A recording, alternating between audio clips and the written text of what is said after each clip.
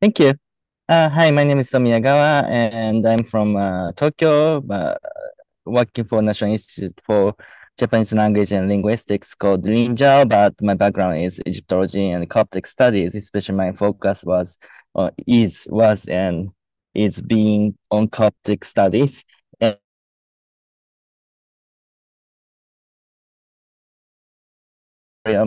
and Coptic dictionary and uh, yeah, in, in front of me there's a building of the Institute for New Testament Textual Research, INTF, and it's it's kind of mecca for the uh, New Testament uh, studies. So I'm so excited to come here. And, and yeah, also there's a Bible museum there, and you can see, also see the history of the Bible, and so it's a very nice place. So let's get started. Um, I'm not sure how many of you know Coptic, so I will go from very beginning. Uh, but yeah, so this is the contents of this presentation, and also it has also has a hands-on session. Uh, actually, I'm not a specialist of vice and virtue in Egyptology or Coptic studies, but uh, so I what I can to teach, uh, what I can teach is uh, just to show the way to you know to do to do research in the very many very modern way like using digital tools and so on. I'm also working as a digital humanist, so I want to you know present how to how to study or how to learn uh, the lang the language, especially Coptic, and how to how how we can get to know the context of the words such as vice and virtue are used um, used in. So um, yeah, let's get started. So first I will talk about my profile and the introduction to Coptic and introduction to digital humanities for Coptic studies. And then lastly, hands-on session of Coptic Dictionary Online, Coptic Scriptorium. So first, uh, it's my uh, profile. So I was born in Japan, but I, yeah, until MA, I studied in Japan, but I went to Göttingen in Germany and, and studied Coptic studies. And I got PhD and I went to Kansai University for postdoc and Kyoto University for assistant professor. And now I'm working for a governmental institute for linguistics in Tokyo. And I got Dr. Phil Coptology from the Seminar of Egyptology and Coptic Studies at the University of Göttingen. And I studying I'm studying late antique Egypt, focusing on intertextuality from the Psalms in the letters of Shenouda, who lived during two important periods in Christian history, namely the Council of Ephesus and the Council of Chalcedon. And I'm dealing with a large amount of, amount of Coptic and Greek literature. And I'm also working as a digital humanist. Um, we, we including me, a team, uh, published several digital humanities books in Japanese. And I'm also publishing several papers about digital humanities in English too. And uh, in Germany, I worked and studied as a paid researcher on a five-year project of the German Research Foundation, the DFG, to create a digital edition and digital corpus of Coptic literature, especially Shenouda and Besa. And uh, yeah, also, um, uh, yeah, I worked as a digitizer of Coptic literature in Coptic Scriptorium. I also contributed to papyri, papyri.info, Copt.ot, etc. Um, yeah, cop, yeah, contributed to or collaborated with Coptic OT especially. Um, so um, to whom who uh, to whom do, uh, do not know Coptic well, I want to talk about Coptic first. Coptic is the final stage of the ancient Egyptian language. Um, so Egyptian, um, yeah, so there are several stages stages of Egyptian language. For example, late Egypt, Old Egyptian, Middle Egyptian, Late Egyptian, Demotic Egyptian, and Coptic Coptic Egyptian. These languages or language variants are belonging to the Egyptian branch of the Afroasiatic language family. Uh, Afroasiatic language family has, uh, for example, for like famous example, with um, Semitic language, Semitic languages such as Arabic and Hebrew, Aramaic, Syriac, etc. But Coptic is um, kind of relative to these languages. So uh, relative to uh, Syriac, Arabic, Hebrew, but in the different branch. So Arabic and Hebrew are belonging to uh, Semitic language uh, branch, but Coptic is belonging to Egyptian language branch, but same within the same Afroasiatic language family. And Egyptian language, the Coptic is the last stage of Egyptian language, and Egyptian language uh, was written in hieroglyphs, hieratics, and demotics, but uh, Coptic is an Egyptian language written in the Coptic script. And Coptic script is um, based on Greek script, 24 Greek letters, plus six to nine letters derived from the Egyptian demotic script. And but this kind of attempt was already occurred in the Ptolemaic era, uh, attempt to write uh, Egyptian in Greek script, but it is called Old Coptic uh, from the Ptolemaic period and also Roman period. But uh, around the second and third centuries, uh, spelling became standardized. And from then on, Egyptian written in the Coptic script is called Coptic. And it has a lot of dialects, for example, Bohairic, Sahidic, uh, Sub-Akhmimic or Lycopolitan, uh, Akhmimic, Fayumic, etc. And but it has very uh, variable religious literature. For example, for early Christian literature or Manichaean literature or Gnostic literature, famous for famous with um, Nag Hammadi uh, manuscripts library uh, which are written in Sahidic with the influence of Lycopolitan or Lycopolitan for, for some texts. And Coptic uh, is not the dead language, um, although though, um, but it is uh, not well used as a everyday language, but it has revitalization movement in the late 19th century, the Coptic language revitalization movement began to revive Coptic as an everyday language by, for example, this guy, uh, Claudius Labib. And as a written language, a liturgical language of the Coptic Orthodox Church, Coptic has continued to be used until the present day. Um, yeah, yeah, this kind of um, unclear record that Coptic was spoken in 17th century, but yeah, it is difficult to prove the truth of this uh, record. But yeah, at, at, at the latest, uh, Coptic was not used um, as a everyday language in the 18th century, but in the late 19th century, there's a Coptic revitalization movement, and it is continued until today. Also, uh, in the academic world, since Champollion, uh, this guy, Jean-Francois Champollion, he's, uh, he deciphers Egyptian hieroglyphs.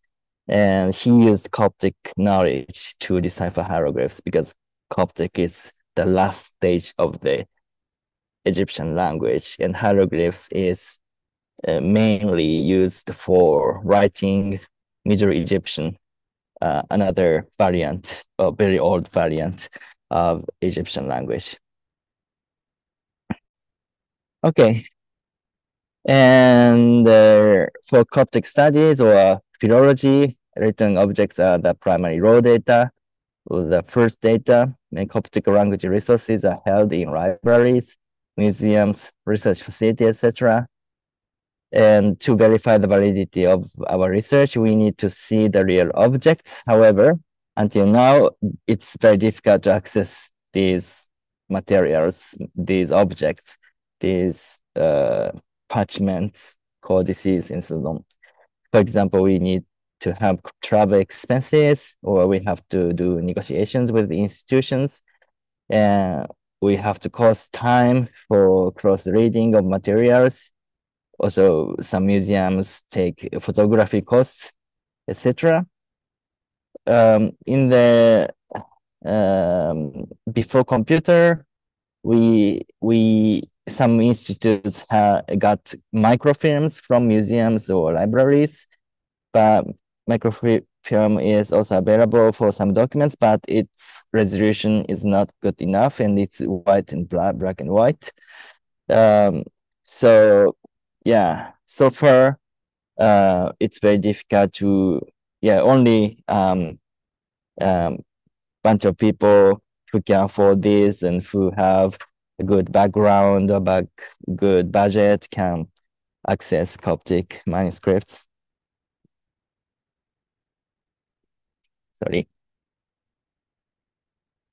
Uh, also me, I, I, I I studied in Germany, but I'm working in Japan, so it's very difficult to go uh, go to see Coptic manuscripts in Europe or Egypt. But yeah, but I I I can I, I can afford now, but I don't know in the future. um, yeah, and uh, yeah, so uh, so also there are yeah, but if you are you have uh, digitized materials uh, on their homepages or archives or databases of several museums and libraries, you can see them online. So it, this is very great uh, merit of um, you know digitized um, digitized exhibitions of museums and libraries, but there are also undigitized materials. And um, yeah, I, I for my um, PhD research, I um, I, I read a fragment of Coptic parchment literature produced in the 8th century in the British Library uh, that was unpublished. And it could not be requested without knowing the full shelf number. And as it was a document that could not be photographed, I copied every detail of the fragment, including letter forms. And so we, I took so much time for that. And also I had to pay travel expenses from Göttingen to London. And uh, uh, so it's very, very tiresome um, yeah tiresome process. Um, so Emmel he's he reconstructed the Shenoutean library, Shenoutean uh, codices, uh, but I got the shelf number from his book and I requested. I went to British Library and I requested to see the manuscript of this shelf number and copied and reproduced on the spot. And after that, I researched uh, based on this copying and reproduction. And it, it is the only way to confirm the correctness of the research. Uh, yeah. So it's very tough situation if it is unpublished and undigitized. But if it is digitized, uh, it's very nice. Some institutions will, uh, are, op are open or will open they open their collections to the public using digital technologies, for example, images of raw materials in, in the very high resolution, and they can be viewed from anywhere with internet access. And anyone can point out the errors of reprinters, and the research relying on the reprints should also be renewed. And this is kind of a paradigm, paradigm shift through openness with digital technology. And thus research is more accessible to non-researchers who have the time and money to visit, uh, uh, who, yeah, who cannot have the time and money to visit institutions and buy reprints. And more people doing research, lower cost of access to materials, and research errors can now be detected by anyone. And research becomes more sophisticated and complex. And one researcher can no longer handle it alone and Thus, uh, collaborative research teams are required, even in the humanities. Uh, but um, how, yeah, I don't know uh, the background of yours, but uh, how do you uh, look at or how do you search uh, for your materials, your codices? Um, we can use, for example, search engine like Google well, we can use cross-search platform for cultural heritage, for example, Europeana, or you have special specialized databases like Trismegistos, especially for resources from Egypt, 8th, century BCE to 8th century CE, or papyri.info if it is a documentary papyri, or uh, if it is a documentary papyrus, or the Kyprianos database, Coptic magical papyri, if it is a Coptic magical text, or PATH, PATH, uh, if it is a Coptic literary text or Coptic codex, and Coptic scriptorium, if you want to see more linguistically annotated corpus of the text, so, and so on. So this is this environment infrastructure is getting uh, be well built, and we can do we can do the initial process of the of your work using these tools and databases. And before, before digitization, a bibliographer visits a library, museum, or research institution, and they uh, reprint the material in question publish uh, the reprint, uh, so-called diplomatic edition, and other researchers, historians, linguists, etc., use the reprints for their research. Uh, the benefit is no need to go to the place where the material is kept and negotiate. There's no uh, need to negotiate with the institution but disadvantages are reprints are inevitably influenced by the subjective judgments of the reprinting author, and human is reflected in the reprints, and accuracy of research is compromised. So yeah, but with the digitization, we can overcome these disadvantages. Um, so the first step, probably many of you, uh, including me, uh, ask Google where these materials are, where the con what what the content of the this material is, this text is. Uh, Google is very well known search engine, and everyone can search uh, from a large corpus, large web internet. But sometimes there are too many results, and you have to narrow it down. If you try to search by shelf number, you will get a lot of different results. So you have to be creative and use, uh, for example, this mark uh, for exact matches, such as um, double quotation P bottom 6 double quotation Coptic for Coptic references. Uh, sorry, there's an error. Uh, P bottom 6. If you uh, type with this uh, double quotation marks, um, you can search exact uh, literal of this uh, p bottom 6 like this window or Europeana Europeana is utilizing um, IIIF International Image Interoperability Framework across such uh, site for images of EU cultural heritage, including Coptic papyrus. So if you type papyrus, you can get these uh, results, and some are from Kunsthistorisches Museum, and some are from like Heidelberg uh, Papyrus Collection. And there are more than 300, 3,000 participating institutions, also a wide range of Greek, Roman, and Egyptian relations.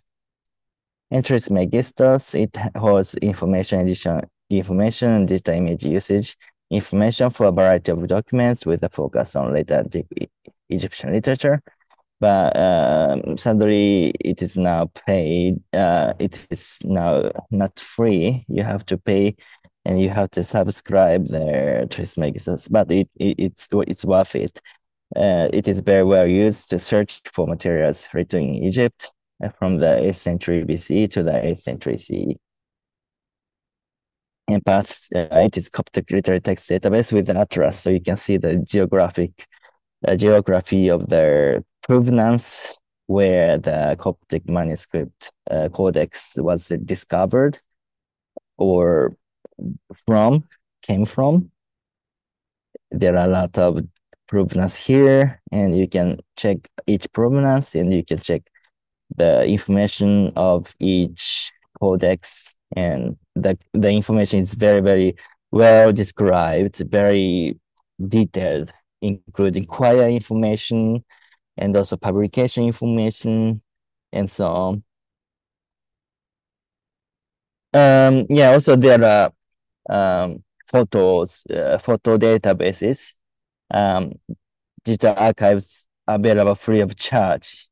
Like Bodmer Lab, Chester Beatty Online Collections, DigiVatLib from Vatican Library, Gallica from uh, Bibliothèque Nationale de France, Digital Bodleian from Bodleian Library, Heidelberger Papyrussammlung from Heidelberg University Library, BerlPap from Egyptian Museum Berlin Papyrus Collection or Metropolitan Museum of Art, and many more. Um, um, interestingly, most of their websites are using IIIF. IIIF is International Image Interoperability Framework. It is uh, to facilitate the interoperability or like um, exchange of their photos or data um, between user user and museum or library or between library or between library and cross cross search platform for example um, this is kind of very uh, great um, this makes very great environment for research um, or more more open research and yeah it has uh, most of them have uh, several IIIF um, viewers such as Mirador and uh, most of them have CC BY license. Uh, if it is CC BY NC 4.0, you cannot use it for commercial, but you can use it um, for non-commercial use. And but you have to write uh, the creditor uh, credit of this photo. For example, if it is from Bodleian, Bodmer Foundation, you have to write what it is from Bodmer Foundation. So um, yes. And this is IIIF. Um, IIIF is high resolution image interoperability technology initiated by leading research libraries around the world by bridging, bringing together a variety of technologies and many famous library or museums around the world, including the British Library, the Bodleian Library of Oxford University, and the Bibliothèque Nationale de France, Gallica have adapted IIIF for their digital archives and various libraries, university libraries, and museums art in museums, etc. in Japan or other countries are also adopting IIIF. Uh, it is rapidly spreading. And uh, yeah, it is used in digital across such portal, for example, Europeana and so on. Um, yeah, for Coptic, there are a lot of museums or libraries um, uh,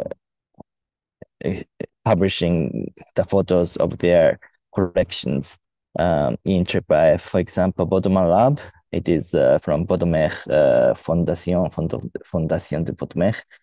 Uh, it is uh, it is actually parchment, but uh, it is called it is called papyri here.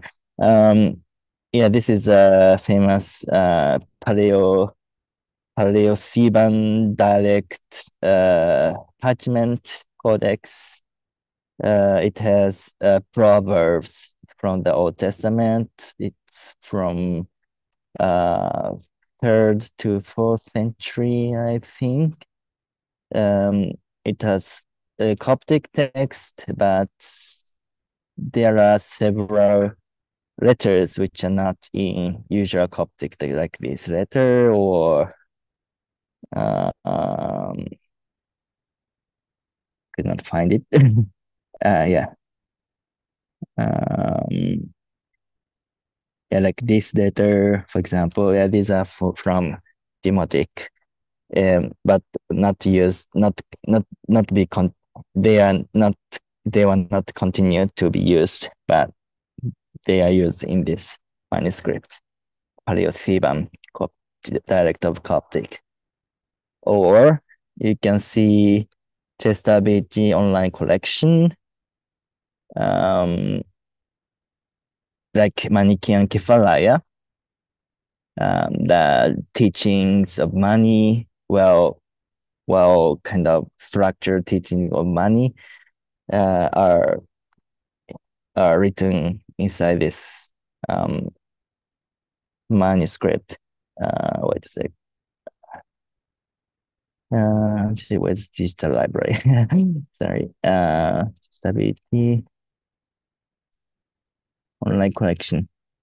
Chester Beatty online collection home. Yes. Explore online. You can see Arabic collection, Armenian collection, Vivica Papyri collection, Burmese collection, in Coptic collection, but the Manichaean Coptic collection are not here. Egyptian papyrus collection, Manichaean papyrus collection are here. It's a bit funny category, but it's very nice that they are publishing almost all the Manichaean Coptic collection. Yeah, there's a Manichaean Kephalaia, folio from the Manichaean Kephalaia. But this this uh, codex is this text is very uh, deteriorated, so it's very difficult to read. But somehow you can read, uh, like like Ju Ju Ju or something. Um, but it, it, now um, um, people like uh, Iain Gardner, Jason BeDuhn, and uh, Paul Dilley are doing multispectrum imaging for this um, papyri, and they can read somehow with using the, this cutting edge technologies, and they are publishing uh, the books uh, of transcription, and translation of Manichaean Kephalaia from this Chester Beatty library. Okay, um, and also DigiVat Lib. This is a Vatican Libraries um, Vatican Libraries Digital Archive, and this is um, uh, Bob Orient 2, and this is kind of their, uh, wait a sec. Yeah, multilingual parallel Bible from using uh, Syriac, Armenian, Arabic, Coptic, Syriac again, and Ge'ez. You can yeah, so I'm using like GNOME Internet or eduroam of the University of Munster. Uh, but this uh, photo is very high resolution, but you can zoom out and zoom in very quickly or too quick. you can also download it and you can also uh, exchange this um, photo using uh, sorry, using this um, manifest and you can also put it on your website using this F manifest. And so yeah, F has a lot of functions, so I cannot show everything, but it's kind of future or very cutting edge technology, which is spreading worldwide. And so photos and database, is are very, very useful for um, studying Coptic, studying Coptic texts. but um, you have to transcribe the text from the photos.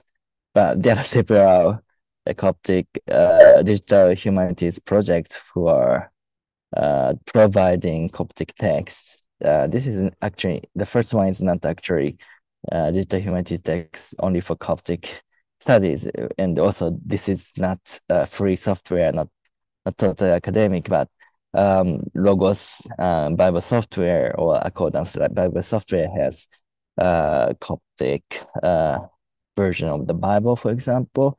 Also, some of them have uh, Coptic text of Book of Thomas or very famous Coptic um, text. Um,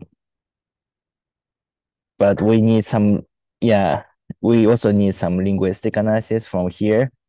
Uh, yeah, um, for for reading it from this text, you have to annotate the linguistic uh, reading re linguistic information by yourself. But there are several um, projects which also provide the linguistic annotation. Um, in order to use the quantitative methods, uh, that have been developed in corpus ling linguistics. I'm talking about corpus linguistics here, uh, but corpus linguistics is like linguistics, which uh, research co corpuses like corpora, and they're like um, uh, like database of texts, and you can uh, search for exact uh, context of a word and and also you can see the how the word was uh, used in each sentences and so on.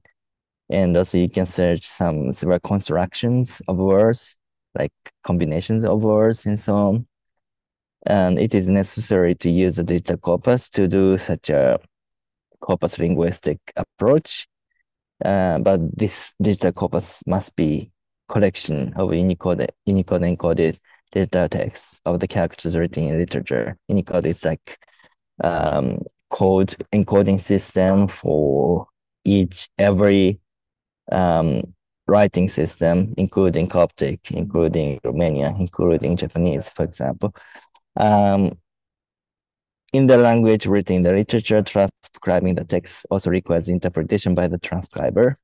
So uh, it is necessary to create a corpus in, in a format that accurately conveys the detailed information of the literature as much as possible.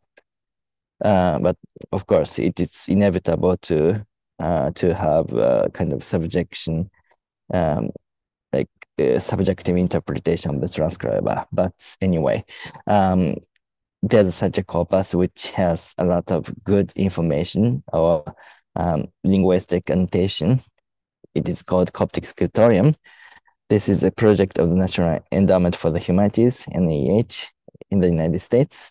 And it is publicly available, uh, multi-layered target corpus of Coptic language. And currently it has um, 1 million, but currently it is more than 1 million, but uh, 1 million tokens or words. And it has tagged, it is, these words are tagged with lemmas. Lemmas are like dictionary form or parts of speech, like nouns, verbs, adjectives, and morphology, whether this is uh, compound or not, and so on. But syntactic information, uh, for example, this is subject, object, etc. And loanwords information, because Coptic has a lot of Greek loanwords. So whether this word is coming from Greek or coming from Hebrew and so on. And bibliographic information, for example, the shelf number of the codex or like uh, verse or chapter of the text. And I'm currently, I, I have been a research member since 2014 of the Coptic Scriptorium. And why did it call this? Ah, I got it. It is Apophthegmata Patrum. Stigmata. Um, yeah, the president has been a research member since 2014, and I tagged several corpus of Besa letters. And also I contributed to some technical things for Coptic translation of the Old Testament corpus and also the Apophthegmata Patrum uh, with morphological segmentation, lemmas, part of speech, morphology, bibliographic information, etc. And uh, there's a uh, umbrella project called KELLIA, which is a kind of project to facilitate the collaborations uh, among Coptic DH projects, and it created, uh, developed the Coptic NLP service, but mainly developed by Amir Zeldes, the lead of the one of the leaders of the Coptic, script, Coptic Scriptorium project. And this is Career project, a joint project of the National Endowment for the Humanities and German Research Foundation, where the presenter was a research fellow. So let's take a look at the Coptic Scriptorium.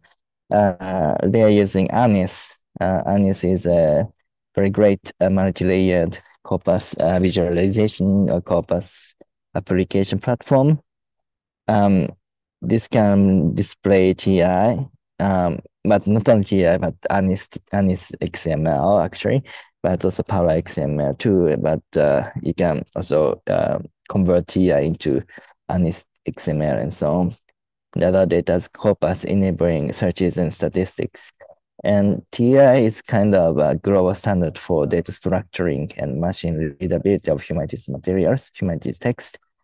And TEI is a global standard for machine readable data structure of humanities materials, text, including yeah, some orthographical errors, transcribers interpretation, lexical information, part of speech inf information page, column and line information, etc. Um, maybe you heard of it, but I don't know. If you go to some seminar of digital humanities, maybe you will uh, learn TEI, I think. But it is kind of very basic for textual encoding, textual markup. And many projects are using TEI and also Coptic Scriptorium are providing TEI on GitHub. And Coptic, take a look at Coptic scriptorium closer. It is multi-layered corpus display with ANNIS. This is ANNIS, and you can see Coptic text here, and there are several layers or tiers. First, it is CB, it is column break. So it is first column on the first column, and second rank. It is Greek cop. It is long word information, especially. Yeah, so this is Greek. So it is Greek loanwords. Um, this kleronome is Greek loanwords. And here line break. So first line, second line, and so on. And here lemma, the dictionary form of the uh, of the of the word. Kyo is dictionary form is kyo, but n uh, this is a plural form of different article. But dictionary form is uh, masculine singular form, p, for example, and so on. And here norm, this is normalized uh, form. So it is not actual form written in written on manuscript, but uh, kind of normalized or standardized form. And orig is um, the form which is written on actual manuscript. So it has this kind of apostrophe like sign. Probably it is kind of the uh, uh, syllable divider or word divider, perhaps. And page break.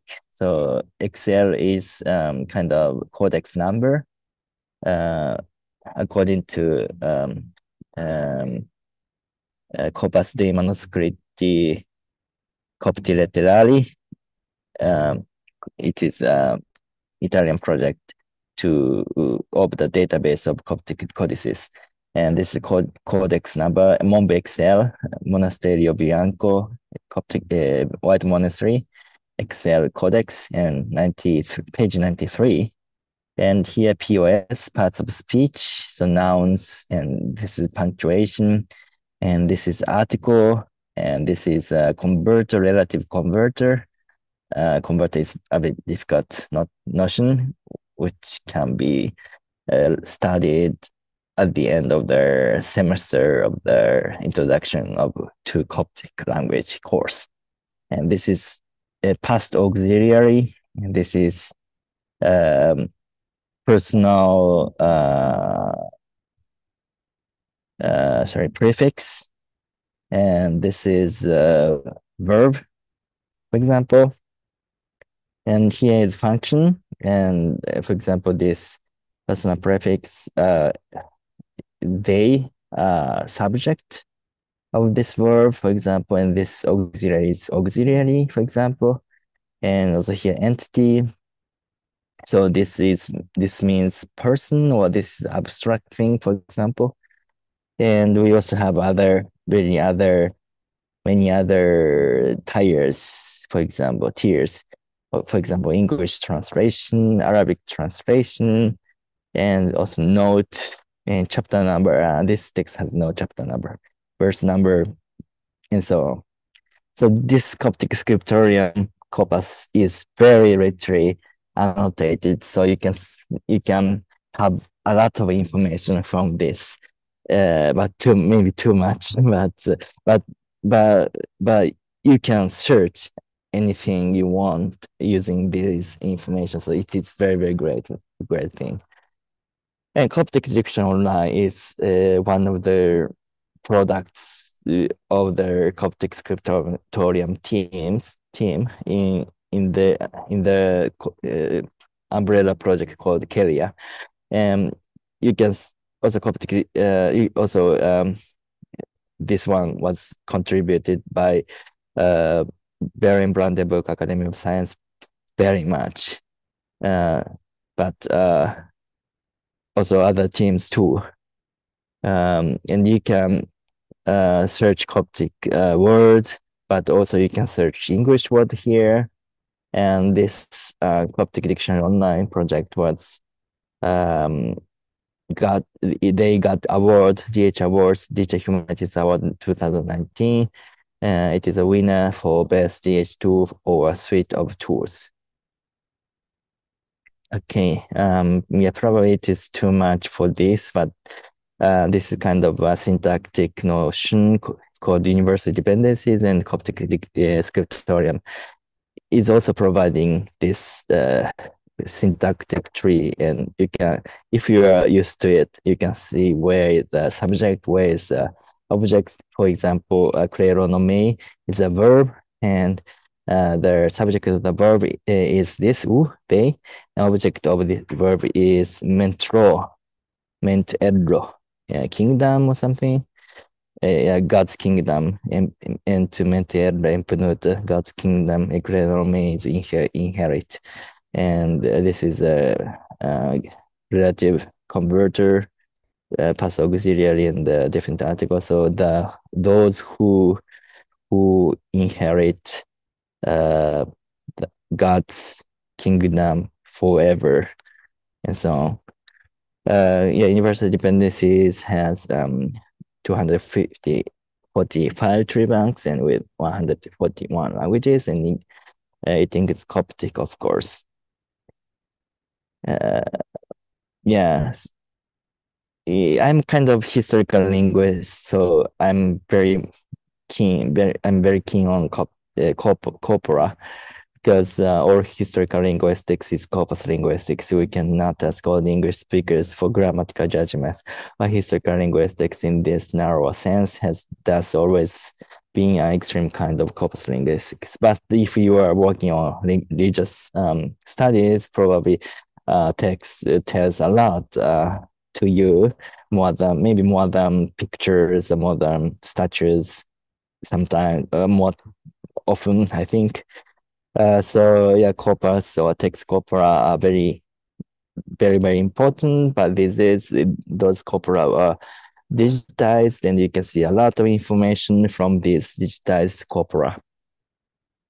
Also, um, Coptic scriptorium is from academic side, but also Copt, uh, Copt, Coptic Orthodox people are also uh, making a very great corpus. Uh, for example, this one, Tasbeha. Um, recently it is unicodized, so you can also search um, any words in Coptic Unicode.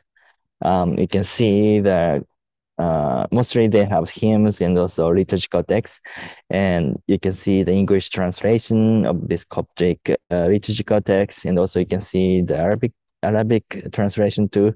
This is very very important site, and I'm so loving it and uh, yeah, I, I will I will skip this because uh, it is too much. Uh, it's too much. Yeah, and uh, these days, um, uh, digital humanities projects uh, have a very great idea called FAIR FAIR principle. Uh, it is uh kind of just um manifesto and or motto of their uh, projects and they must be findable by everyone. They must be accessible to everyone, uh, for everyone, by everyone. They must be interoperable by everyone, every project. They must be reusable. Um, yeah, through internet-connected technologies, research is not limited to researchers. The general public can also browse materials inside research literature and citation of research literature. And this is very important for toward um, open humanities. And research, digital research infrastructures needs to be developed under this uh, FAIR principles. Okay, conclusions. So open science, publishing papers and research data is widely progressing, especially in the fields of science and open access papers also increasing in the human field of humanities and primary data in the humanities, especially in the fields of classics and Coptic studies and ancient history and so on. Uh, but uh, materials, historical documents, and data archive such platforms and digital corpora that publish bibliographic materials, historical documents are increasing. Uh, for example, Europeana, Trismegistus, or Bodmer Lab, online collections, DigiVat Lib, and this is the corpus, Coptic scriptorium or Tasbeha. And uh, I didn't uh, introduce this, but DOI identifier for articles and research data. uh, this is uh, digital object identifier, and using this uh, identifier, you can uh, per almost permanently detect one uh, their literature, previous literature of, uh, linked with this identifier. Uh, CTS is canonical text service. It is uh, identifier for works in the ancient time, for example, including Coptic too, or medieval time too. Um, this is uh, CTS identifier. It's getting also uh, very important and useful uh, for classical chapters and sections. So you can um, identify which section, which chapter, which verse of Shenoute it is um, signifying, for example, using this CTS identifier. Okay, now this kind of, uh, also, sorry, a more open and fair research environment for Coptic literature is needed, and there are many projects which are doing that kind of very marvelous, marvelous thing. Uh, so uh, this is, sorry, it's lecture, lecture part. So now we go to hands-on session. So I heard the uh, theme of this uh, summer school is vice and virtue. So let's, uh, so if we want to search, uh, if we want to know how vice and virtue or treated in the Coptic literature, you can use Coptic dictionary online first. And you can also type vice.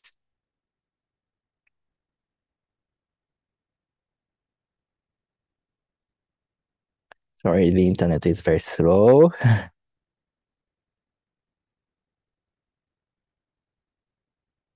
So you, you, you know the page, right? It is called Coptic Dictionary Online. So if you type Coptic Dictionary Online, Dictionary Online on Google, you can get this one. And this is the page. So if you type vice here, you can also search English word. Um, you can get poneria. Poneria is in Greek um, long word. And there are many six uh, meanings. And this uh, this data uh, for Greek loanwords are coming from uh, DG, D, DDGLC project. It is database and dictionary of Greek loanwords in Coptic. It is very awesome project which has very detailed database of the uh, Greek loanwords in Coptic.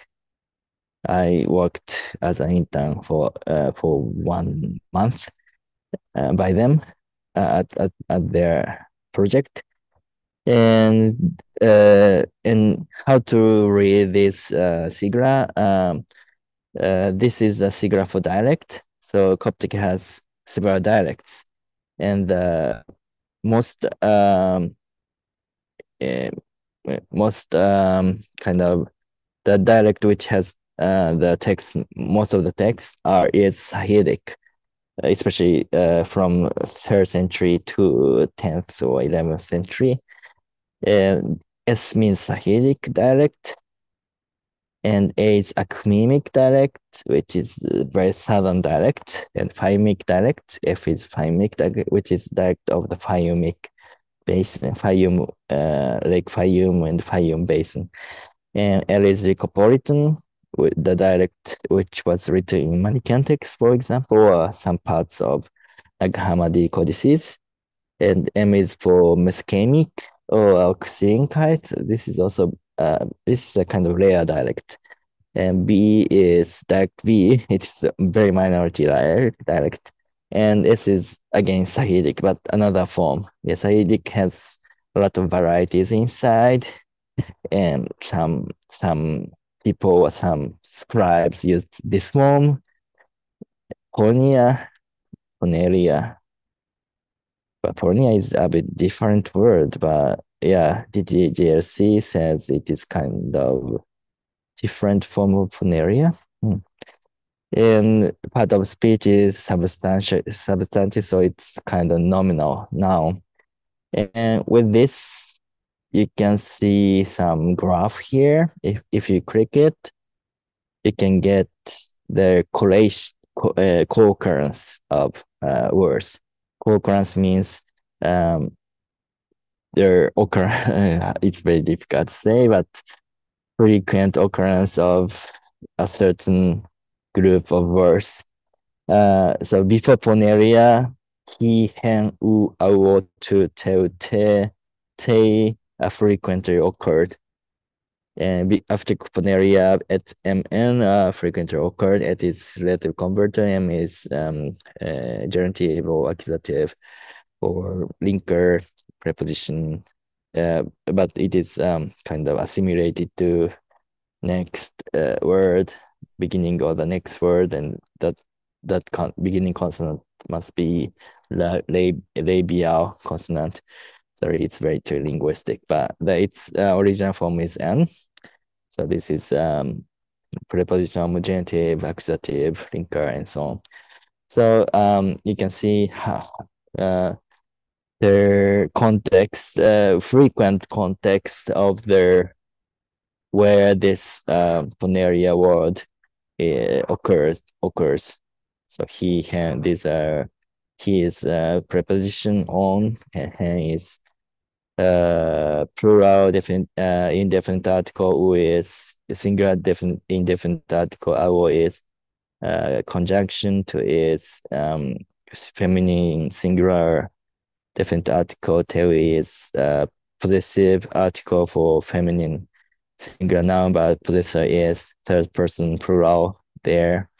And te, te uh, article, uh, te is a def demonstrative article. And yeah, there are many, uh, many things to uh, explain, but uh, this is how you can see their, um, their frequency co-occurrence frequent co-occurrence uh, visually. And you can also see their frequencies in Coptic script of corpus. I just hovering mouse on this nine, one to nine button. And here, this connection button, you can see the top correlations. Collocation, collocation is also kind of co uh, co-occurrence, but uh, yeah, collocation means uh, the set of words which are frequently used.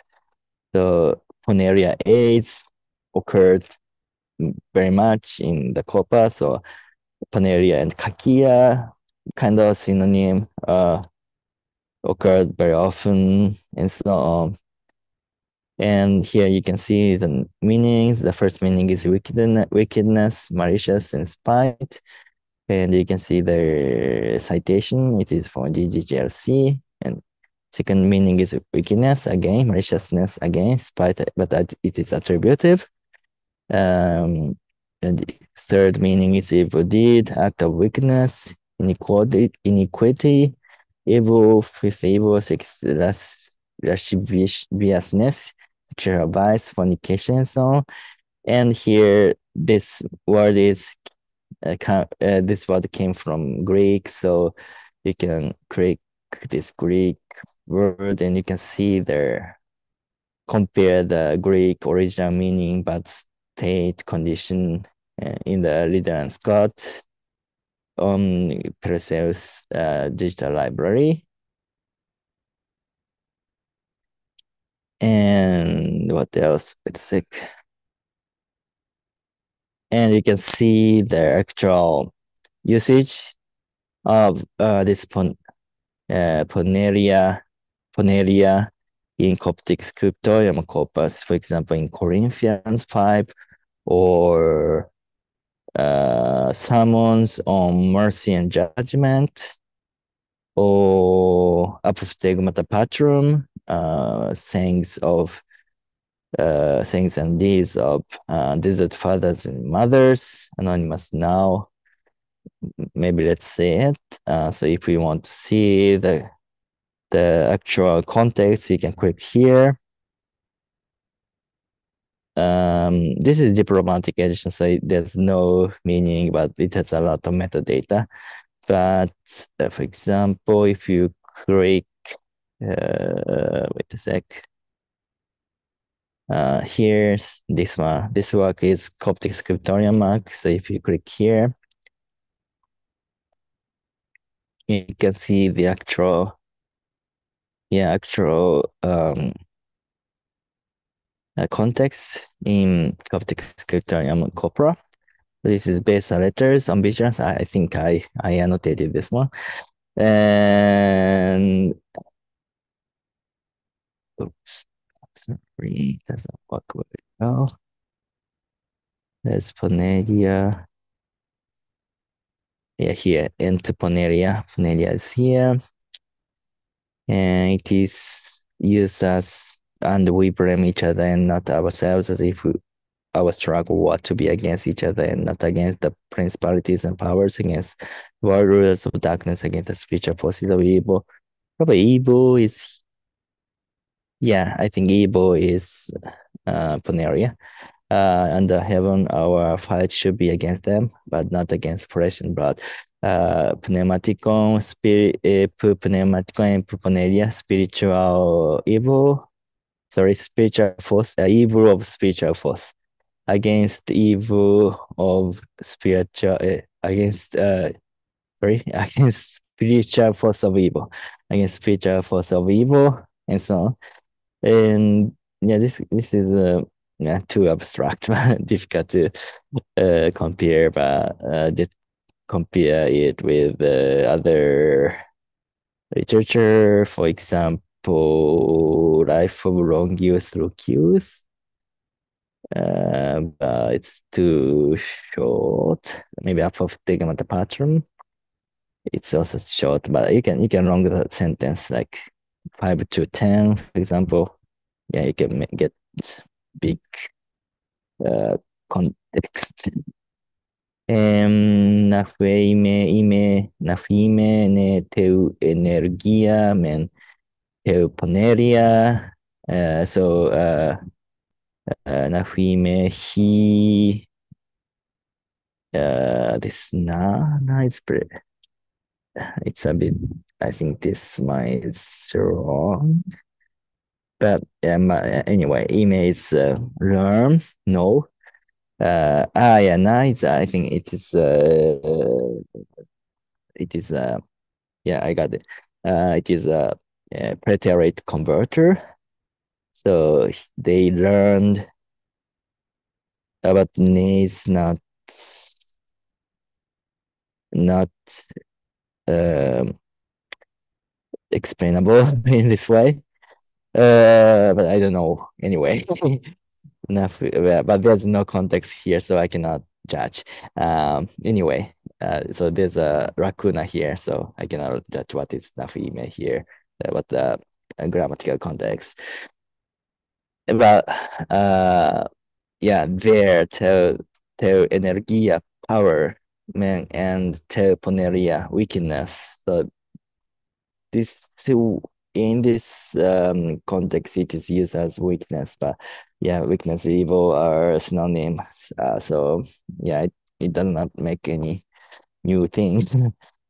but in this way, you can just search, um, uh, search and read Coptic text, and you know you can research um, their semantic kind of semantic map or semantic uh, semantics of the word Poneria. And maybe you can see, you can find new meaning of Poneria and you should like say, or you should make a paper on that. And if it's acknowledged, maybe people use your theory. I don't know, but this is very nice way to, you know, do some linguistic research on Coptic. So um, next Oh, finally we can see virtue.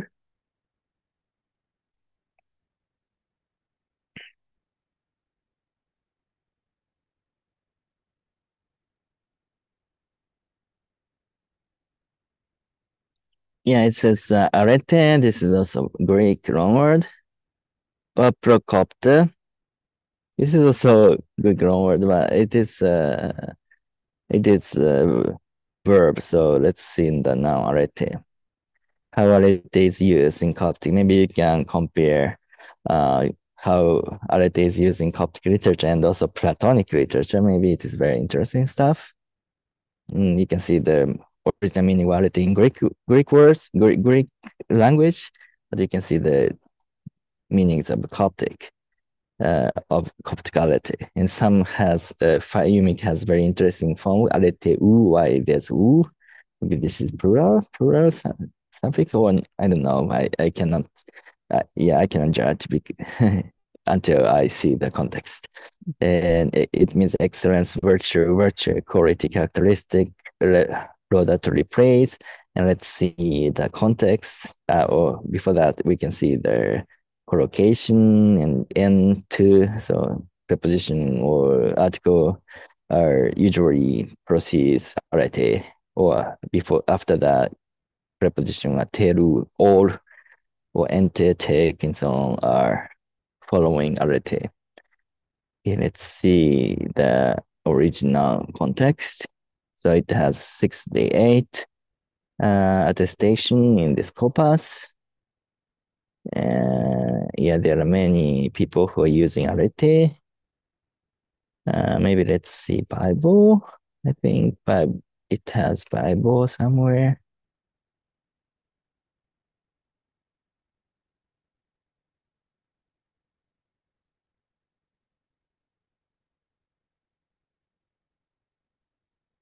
It probably doesn't have Bible. It's very interesting that arete does not occur in the trans Coptic translation of the, ah yeah there there's there are some Bible, but compared with other words, the percentage of um, uh, percentage or proportion of the Bible is, I think, very low in arete. Uh, so 23, chapter 23 of Isaiah, um, ti mem pa e u e o u an en ke ua awo na arete. Na is my virtue. I will not give my glory to another, nor my praises to grave. Probably it is um Arete's praises and and Mung Mung, I don't know, in engage about graven images. It says so graven images. I think this is my arete. Arete is here used as praise, not virtue. Yeah, this is very interesting. When when uh, the arete is used as virtue, or when the arete is used as uh, praise, so you can see um, some you can if you have get a rule for that maybe it is good subject to you to write a paper. And here is Sirach. Um see I think this one is also praise. Oh it has no translation. Uh, interesting. Um